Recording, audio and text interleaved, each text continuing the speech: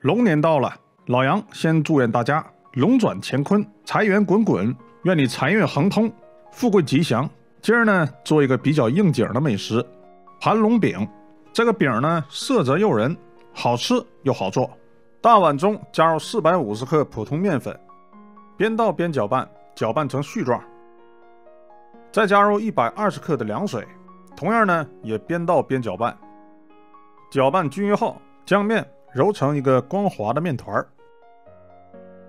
接下来准备少许食用油，抹在面团上，让面团保湿。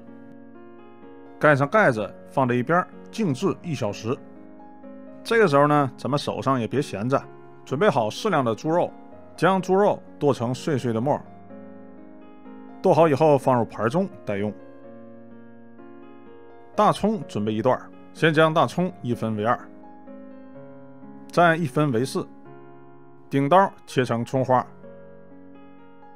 切好以后装入盘中待用。接下来把锅烧热后，加入适量的食用油，下入肉末，给肉末煸炒至发白，并且呢炒香。炒香后，顺着锅边烹入料酒。来上点老抽，上下颜色，翻炒均匀。再来上点生抽，增加一下酱香味儿。翻炒片刻，加入食盐。再来上点花椒面，增香提味儿。再次将调味料翻炒均匀。翻炒均匀后，下入葱花，咱们给葱花炒香。这个馅料呢，就是边馅儿。拿这种馅儿包饺子、蒸包子也非常不错。葱花炒香后，关火，撒上点白芝麻增香，翻炒均匀。把煸好的馅儿装入盘中待用。接下来在面板上来上少许食用油，上手抹匀。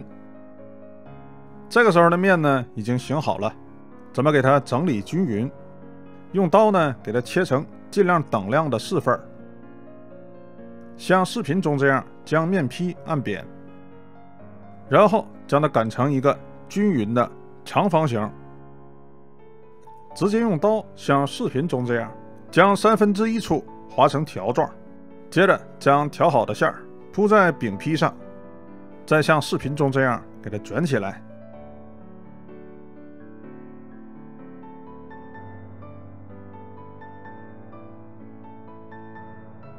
卷好后，按压片刻，按成一个均匀的饼。